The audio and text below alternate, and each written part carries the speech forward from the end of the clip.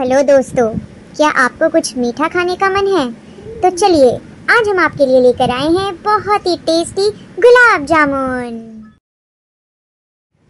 Video शुरू करने से पहले, अगर आप हमारे चैनल पर नए हैं तो चैनल को ज़रूर सब्सक्राइब कर लें।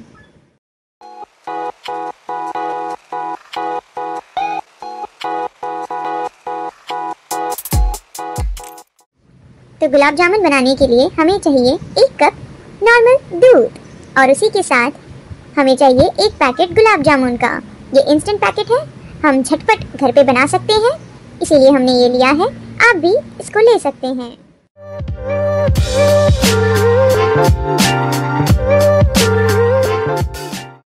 अब पैकेट को हम काट देंगे और एक बर्तन में उसको डाल देंगे। फिर धीरे धीरे करके उस पर दूध डालेंगे और एक अच्छा सा डो बना देंगे।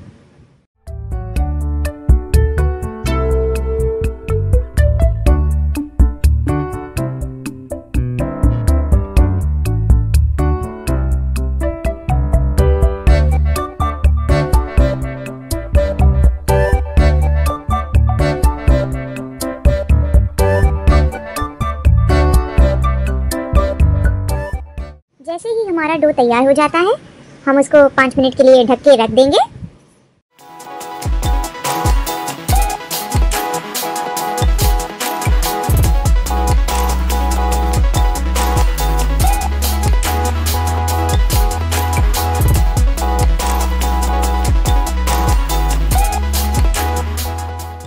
पाँच मिनट हो चुके हैं। अब हम डो को निकाल के देखेंगे और दोनों हाथों में घी लगाकर उसके छोटे छोटे बॉल्स बनाएँगे। देखिए धीरे धीरे धीरे।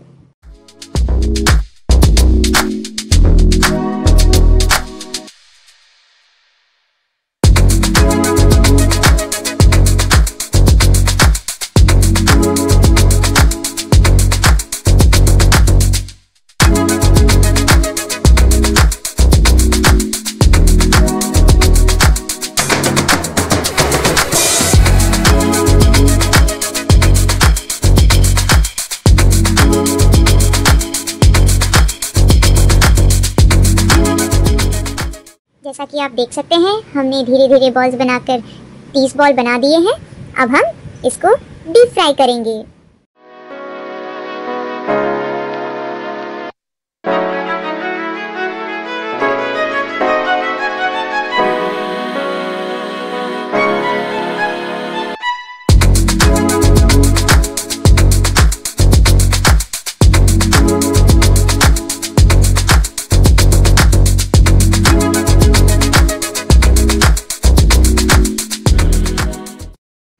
अब हम कढ़ाई पे तेल डालेंगे और हमारे जो छोटे छोटे बॉल्स बनाए थे, उसको बारी बारी से तेल में डालेंगे और डीप फ्राई करेंगे।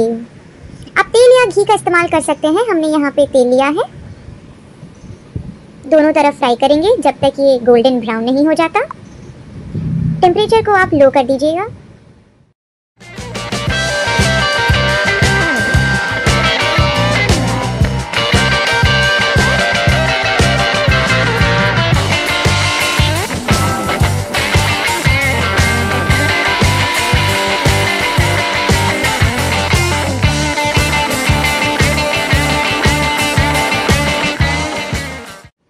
गुलाब जामुन बनाने के लिए हमें चाशनी चाहिए, जिसके लिए हमने दो कप पानी और दो कप चीनी लिया है इक्वल अमाउंट में। उसको हम गर्म कर देंगे और गर्म होने के बाद कुछ इस तरीके से ये दिखेगा।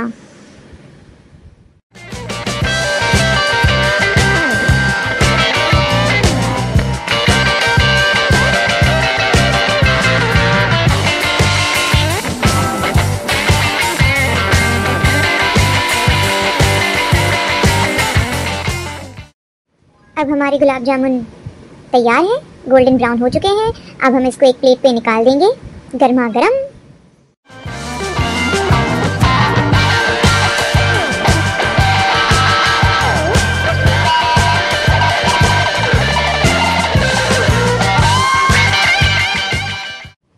अब हमने जितने भी गुलाब जामुन रखे थे, उसको हम हमारे चाशनी में डाल देंगे धीरे धीरे करके।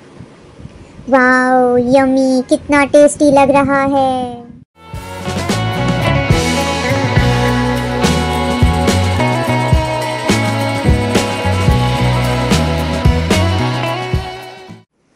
अब अगर आप चाहें तो इसको गर्मा गर्म खा सकते हैं, या तो दो घंटे रखने के बाद जब चाशनी इसके अंदर चली जाए, तब खा सकते हैं।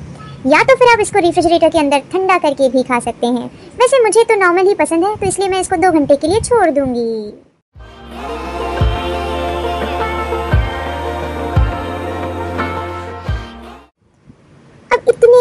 गुलाब जामुन देखने के बाद आपके मुँह में भी ज़रूर पानी आ गया होगा। तो इसी बात पे वीडियो को ज़रूर लाइक कर दीजिए।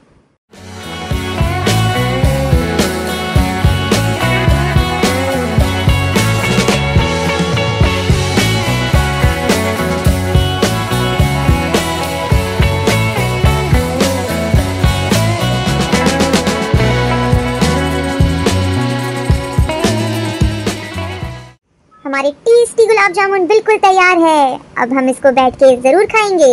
आप भी बनाएँ और हमें कमेंट सेक्शन पे लिख के बताएँ कि कैसा बना है। Thank you for watching this video bye bye take care see you in my next video